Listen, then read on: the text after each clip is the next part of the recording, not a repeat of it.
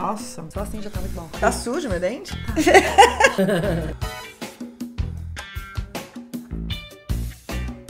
Não sou chefe, de novo com a Paty Elu. Bom, acho que Super. fez sucesso, hein, meu carbonara? Ela me chamou de novo pra ensinar o brigadeiro. É verdade.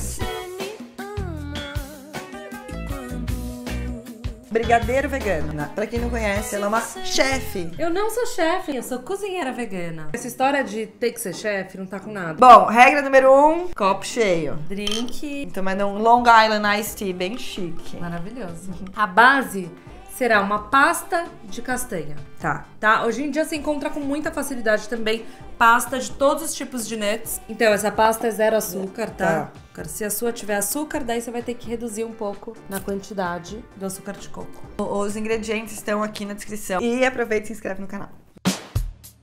Então, Açúcar de coco, castanha de caju. O que, que é isso? Aqui tem uma colherinha de sopa de manteiga de cacau. E, E? obviamente, Cacau em pó. cacau 100%. Tem que ser cacau, pode usar Nescau, pode usar chocolate em pó. Pode usar, você pode utilizar o que você tiver em casa. Se você usar um todinho que já é super adocicado, você vai colocar menos açúcar. Perfeito. Doce sem sal não é a mesma coisa. Vai realçar mais o sabor, então você usa menos açúcar quando você coloca sal. Nossa, eu não sabia disso. Já deu uma veludadinha, a gente vai dar mais um chacoalhão.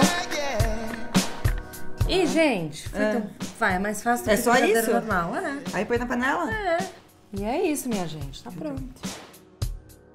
Nossa, Só assim já tá muito bom. tá sujo meu dente?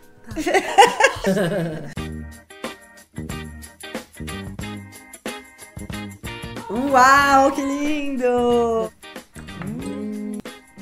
Hum, hum. Amei! Gostou, né? Mais uma receita com a Paty. Quem não viu carbonara vegano, clica aqui. Assistem que Tá tá uma especial. delícia, muito. Ficou bom? Ficou ótimo. Pra ficar melhor ainda, se inscreve no canal. Beijo, até a próxima. Mua.